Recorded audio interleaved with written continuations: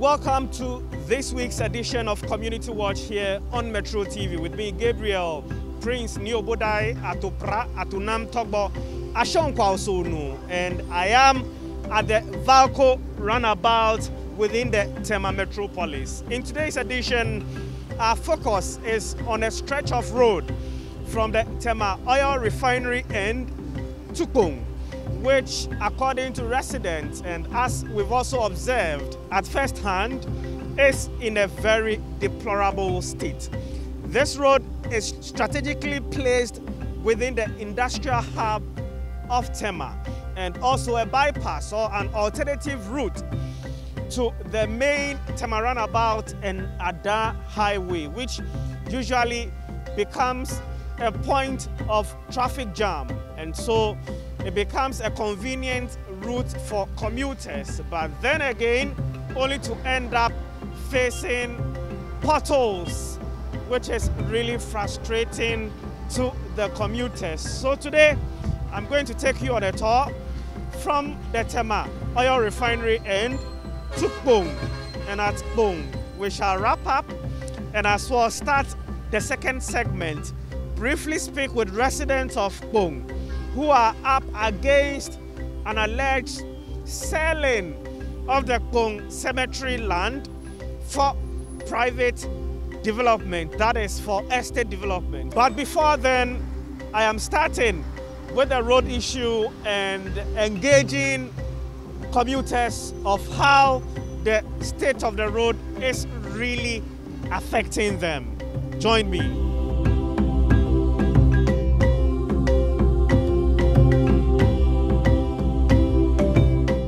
Does this road affect you? It's too terrible. It's too terrible. One policeman I meet you, he will tell you that your light is not coming. Meanwhile, it's the road.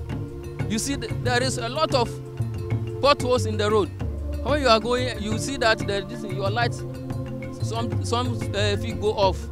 You have to try as much as possible to maintain the road for us. Since Metro TV, you are concerned Thank you for everything. Thank you for your concern. Bye bye. Thank you very much. So it's indeed a big worry. Let me speak to this driver. How is the road affecting you? No, affecting me. So this driver must be very shy to speak, but indeed it's something that is affecting many commuters. Hello, we are from Metro TV looking at the state of the road. How do you find it? So bad. We need to do something about it. Our cars are being destroyed. Oh, someone is saying that. Why have you delayed so much in coming over to us? We've been suffering. This is a big challenge for us. So, hello. How do you find this road? So there is a motor rider also passing by. Good at all. Not good at all. We are suffering too much. How does it affect? How does it affect your vehicle? Yeah, always we are blasting tire problems always. I'm facing many problems. Thank you very much. So he's also mentioned that the road is bad. So there appears to be a consensus that indeed this road is very bad. Just look at the dust that it's generating. Adote, less than so viewers see. Generating so much dust, and that alone could create health problems for residents here. So I am joining the Okada rider now. So he also shares his concerns. He had to stop upon sighting us to come and then share his challenges. Oh, eh yeah, eh yeah, eh yeah. One road no say. bad pa. Ya drive wa me ya bre wa hanu pa. First and second sa emboa yen. Nti esra say mon kan kira. Awurade ahwɛ ase nso kakra. Sika na no ase So appealing to the government, but when you look at the inscription on his vehicle, it is IBM Petroleum, a major petroleum corporation, and we are expecting that institutions like this would also help in fixing roads. So how is this affecting you? Oh, all the time, bury yourself, you know. where the, the road there where yourself you see the road all the time if we like we dey take the people who dey work for the company we dey ask them say why they go do uh, the, the road but they dey say oh they dey like uh, government dey take them tax big so unless the government itself can do the this thing but you see say government we no dey pass here but all the time we dey go shop all the time we dey go shop twenty four seven we dey go shop the road there the road no good kra unless government sef can do something about am give you. Your face is so dusty. Uh-huh. Your mustache. Uh-huh, you dey see so sometimes uh, we will baff but sometimes the customers dey dey think say we no dey baff but because of the road the poor road e let everything e scatter the the you see every day we dey wash motor every day we dey wash motor. The the everything e scatter the road e no good. The road no good good kra the road no good the road no good. All the time eh, bosu yeah. I'll come to you, but this driver has just opened this car. How do you find the road? How does it affect you as a commuter? my brother very very bad. It's very very bad. Look you can see yourself. What is all this? Main oil refining road. Wonderful you see something like this how can they say something like this? We, we are living in ghana. How many years now ghana have independence? And today up to today we are having road like this in ghana. It's a shame. It's a shame my brothers. So something like this you, you have i'm very very happy that you you people are around but this time and i met you. You understand me? So you have to i mean people want to talk. So stay around you see yeah it's Thank you very much, and we hope that the appropriate authorities would listen to your call and fix it. Best wishes and drive safe. So, you were giving the leaders a message. So, they step in. People keep rolling their glass to speak to us. Hello, good to see you. How do you find the road? What's your message? What's your concern? Oh, road ele. In fact, eh, eh, eh he, eh, you have never saw for over since Kufuor's time. It's always been like this, and almost every six months you have to change shocks, and it's it's not it's not good. It's not good. In fact, the town folks are fighting, but we don't know. The, the other day we saw some bulldozers on the road trying to do I don't know what they are doing, but you can you can take a report to them. Tell them that we are also part of the country, and that they should come and fix our roads. We are not taking your report to them. You are reporting to them and speaking to them directly. We hope that they are fixed. All right, safe drive. So let me get to Christian. Christian invited the community watch team here to highlight it so that it is fixed. Christian, you've been working here. Your office is nearby. You've listened to the concerns. I know they aren't new to you, but okay. So share share the experience with us for 15 years. Can you imagine from uh, the house? I, I, I- stay at Tema. Um, sorry, Usu. You understand? From the motorway, you move, you move like six o'clock in the morning. When you get to Come, come, come, come. He's saying that the road don't good. The road don't con- condemn. you see, you get to Committee One around seven o'clock, thinking that by seven thirty you'll be at the office. I'm telling you, from from Community One to this place, will take like two hours. It's so bad, especially when it rains. It's so bad, A very stretch which ideally should take about 15, 20 minutes 20 minutes. takes two hours. two hours, especially when it rains. It's so bad. Sometimes you wonder, ah, you wonder, and you say, ah, is this place part of uh, Ghana? Hmm? Is it In the, in, it's in the port city of, of Ghana. Come come and st- Tema, it, it's bad. And then there's, you see, that road over there is international road. From the Tema roundabout towards Adan, Sogakope, Aflao, then into Togo. The traffic situation is terrible, really. It's very, very terrible from the Tema roundabout. So If this road is done, I mean, I mean, I mean, you can see, you can see for yourself. Look at, look at, look at the number of uh, uh, uh, big trucks that pass. They were, they were all supposed to pass that place, but because that place there's uh, a lot of traffic there, then they move to this place. And so if this place, I mean, it's, it's, it's well done, nobody will even talk about it. You understand? So they should do something let viewers know some of the core corporations cited here. You have. You have Aluex, you have Quantum, you have Goil, uh, see Refinery, Valco is here. A lot of them, a lot of them. Uh, Asogri, you saw Asogri there. Uh, so yeah, a lot of you know, big, big, big companies. Uh, so We, we, we, we pray. it's a major road, yes. So we're just asking the government to do something about it. It's not politics, it's not politics, because this road has been like 15 years. You know. It's gone beyond the stay of a particular political party in government or the other. Exactly, exactly. It's beyond. It's almost 15 years. Uh-huh. So it's not about you know this current government, but they are in power. So we just have to ask them to fix it fast. It's it's, it's, bad.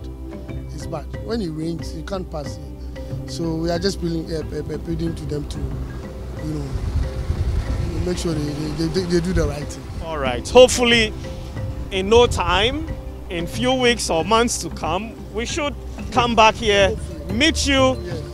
That that time around, not to talk about the problem, but to acknowledge the effort of the authorities that they are here fixing the road.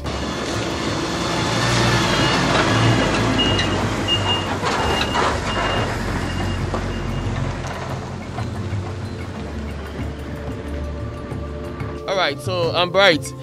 Uh, I work in one of the companies here. Uh, they did a salt cutting last year, August, which was covered by you guys. The media men came to cover it. And I don't know whether they are following up or not. And this is the condition. Now, we can't use our cars. Sometimes we have to park and then board commercial vehicles just to save ourselves some money.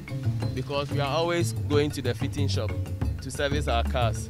So please, we are appealing to the government to come back and then tell us something whether they are doing the road or they did a cutting just to win their elections so we are just pleading that they come to us You've Actually, you've mentioned an important issue the fact that authorities were here last year to cut sod for the construction of this road. And this was in 2020, meaning the election year. We had the election in December. And after the election, you haven't witnessed anything, any work on the road. no nothing as you can see this one they say uh, has been in this state for some time now. I started work here, let me say, 2017. This has been the situation of the road till now. So there is no progress. Maybe we, we have to continue to be hopeful. The president mentioned during his inauguration, when he was being sworn into office, that this year will be year of roads. Find last year as the year of roads. This year will be the second year of roads. As we continue with our focus on dealing with the deficit in our road infrastructure, the development of our rail sector, on which considerable resources and energies are being devoted, will open up the country and lead to the creation of a more connected society and will also help realize the goal of regional and continental integration. So, are you hopeful really that indeed this would be factored, especially as ca- uh, sod had been cut? you, are, you are you are a media man. Year of roads i think this is not the first time we're hearing year of roads before covid we had year of roads and then they said what? Because of covid we couldn't do it. Now this year again year of roads and this is it. So i don't know where the roads are being con- constructed. And my point is the same minister for roads. So why why commissioning commissioning when you are not ready when you don't have the funds to to do it? I don't know whether it's a problem with funding or not. But then you did a commissioning. Commissioning means you are ready to start the project. But one year on the project is still standstill. Nothing has started. And so i mean we are confused Yeah, we are very, very, very confused. And uh, to add up to what my brother just said, we we have no political feelings attached. We are only being Ghanaians. So they should come back to the road and help us out. I, I like how you ended the fact that this has nothing to do with partisan politics, is to ensure that the road is fixed to relieve or bring relief to all the commuters of this stretch. So let's continue with the program. We are going to move from here to the Kpone end of this road. It starts from the Tema Oil Refinery area to the Kpone Township. So join us to get to that end of the road. Here on Community Watch with me, Nyobudai Togbo Ashon.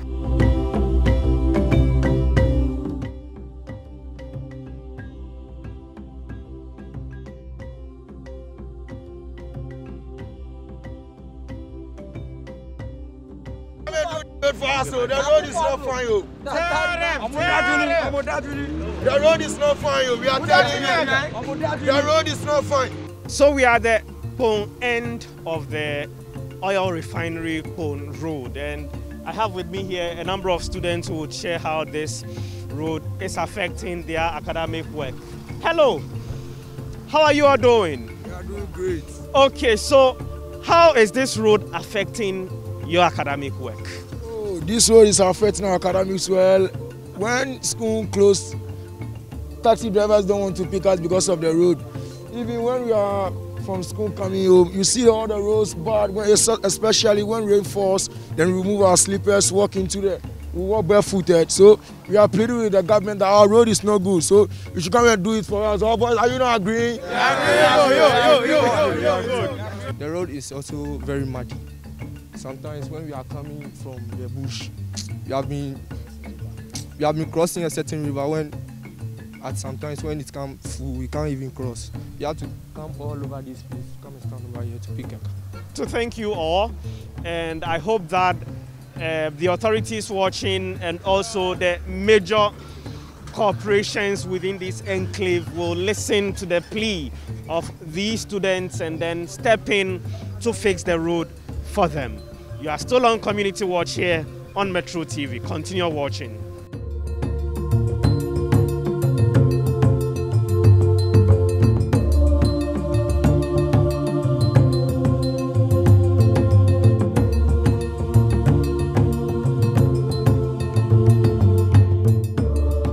So, in wrapping up today's program, I am with two gentlemen of the aggrieved indigents of Kpone. If you would recall, in last week's edition, we brought to you their concerns regarding the state of the Kpone cemetery land, which they asserted that parts of the land are being sold off to private developers. We also engaged a representative of TDC, that's the Tema Development Corporation, and they mentioned that there have been requests from the traditional leaders through the Uh, Municipal Assembly to then give out or approve so portions of the lands that have been acquired already are regularized for documents to be given to the developers accordingly. The representative of the TDC mentioned the institutions that they had cleared for the lands to be given and that the TDC isn't aware of any further transactions beyond those that they had given uh, approval to acquire the lands. But following the reportage, we've also cited letters from the aggrieved indigents of Kpone. These letters are served to the municipal assembly, that's the Kpone Municipal Assembly, containing some demands. But fortunately, I have with me here two leaders of the association, so they give us more insights on this. And these letters are titled Demolition of Illegal Structures on Kpone Public Cemetery Land. Demolition of illegal structures on Kpone Public Cemetery Land. And the second one is titled Request for Documents from Kpone Traditional Council for Cemetery Land Regularization.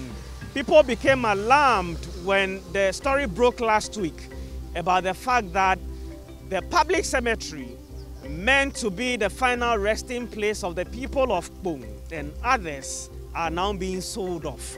You're welcome to Metro TV's Community Watch. Sir.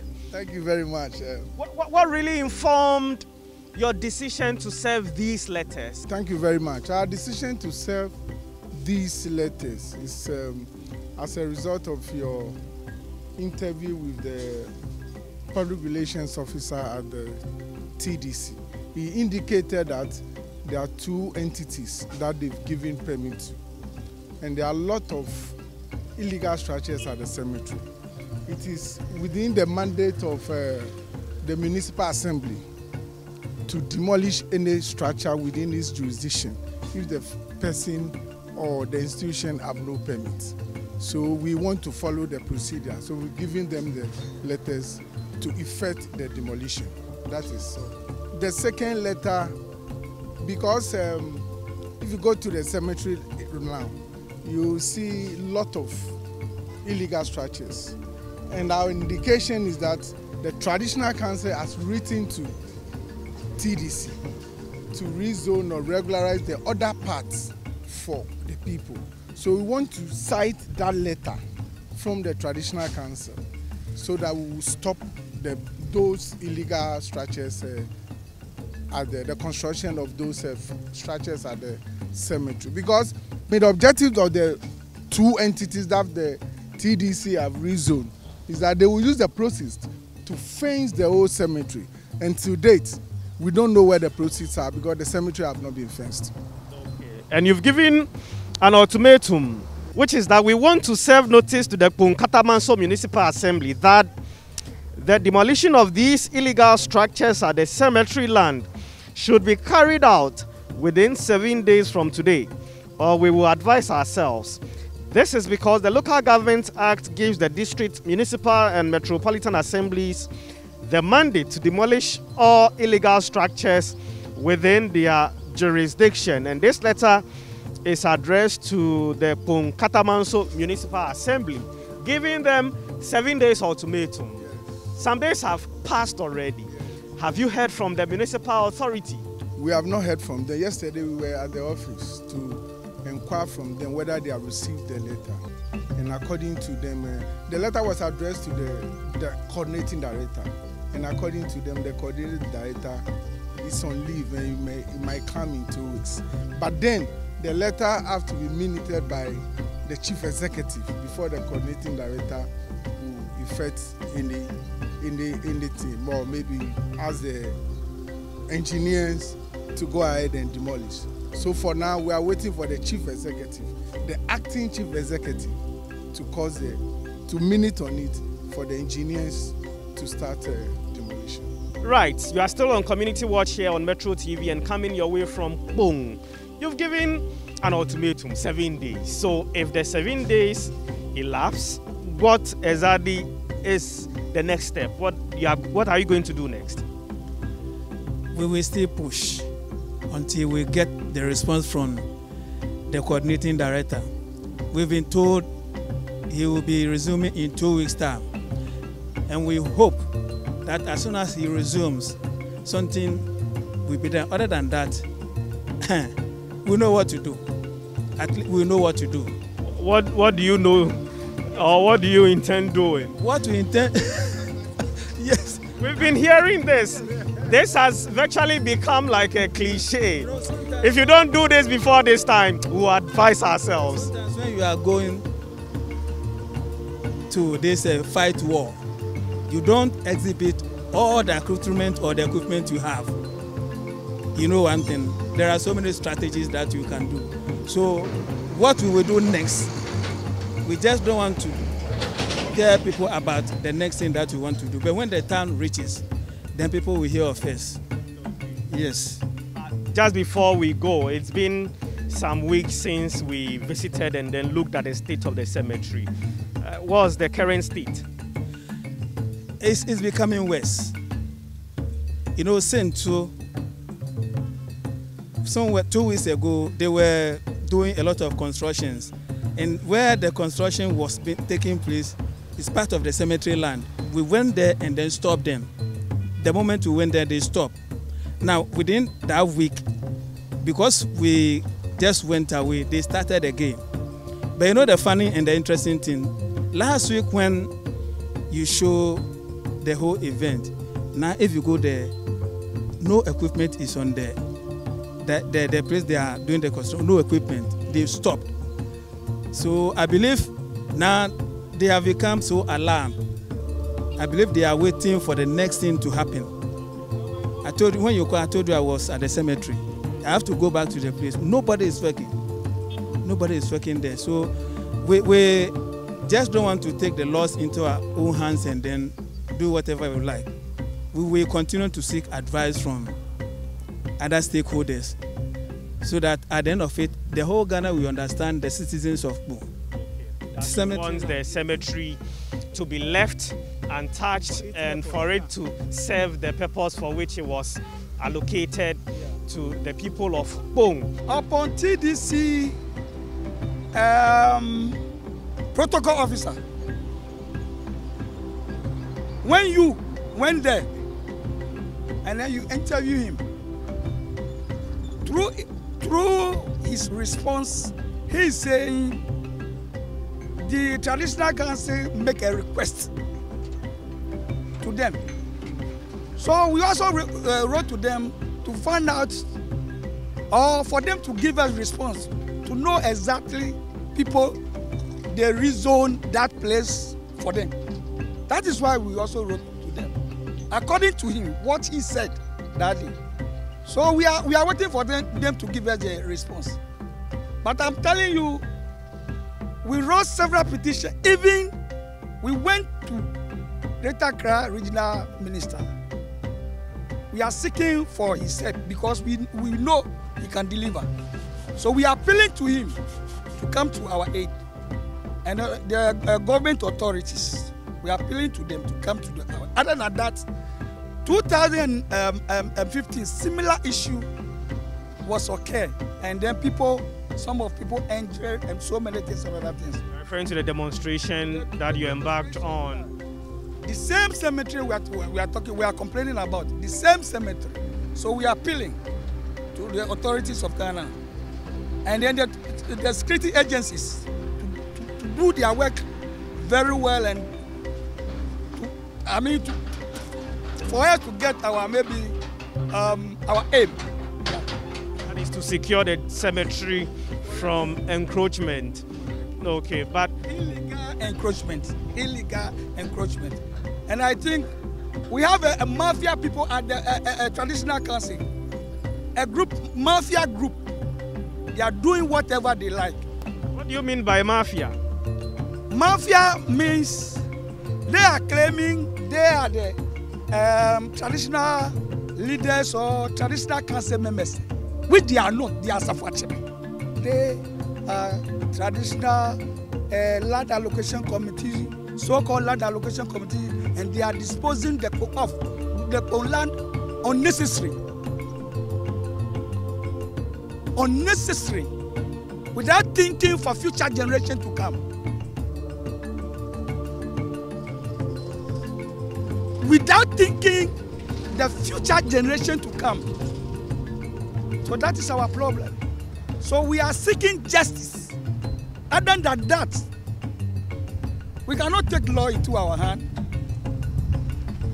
but we shall advise ourselves.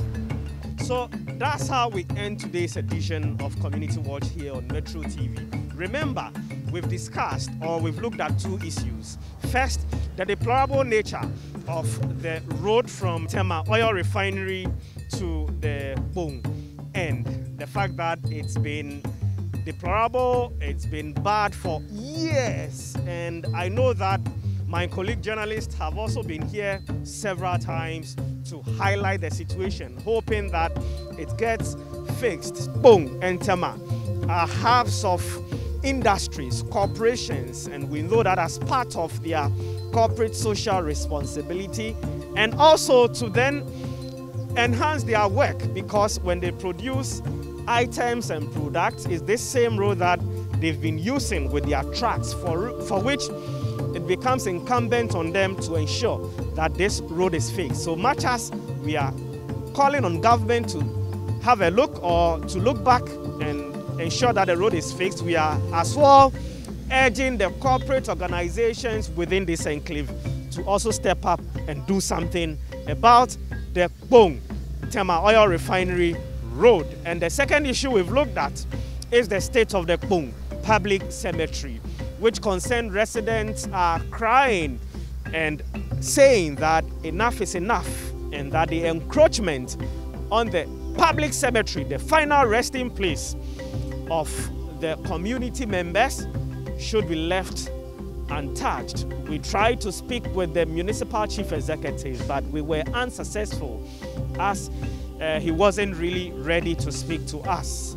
And as well, we've tried a few times to engage the traditional authorities, but that also proved futile. We shall continue to follow this up and keep you updated. My name is Gabriel Niobodai Atopratu Namtogbo Ashon and I have done this together with my colleague Niadote Alote and Prosper Wanyo. Thanks for watching.